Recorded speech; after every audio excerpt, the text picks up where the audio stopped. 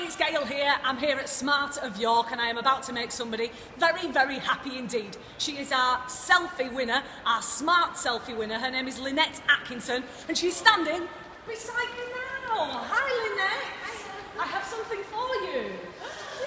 It's a massive cheque. It's upside down. Um, it's a massive, massive cheque for a thousand pounds. It is all yours.